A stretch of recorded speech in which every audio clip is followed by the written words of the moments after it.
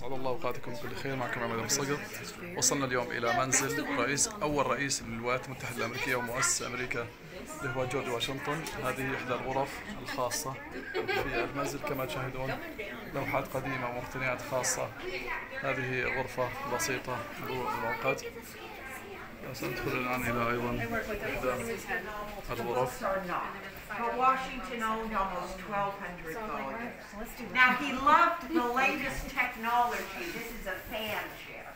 So he could sit and push the pedals with his feet, make the fan swing back and forth. The portrait is his older half-brother Lawrence. The beautiful desk is George Washington.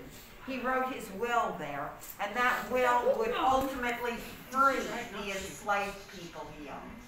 The portrait's original. It depicts Washington as the American Cincinnatus. Cincinnatus was an ancient Roman general. What they had in common was they both had won wars and they could have been kings, but they refused that power and went home.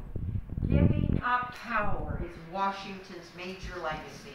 He did it again as president. No term limits then. He could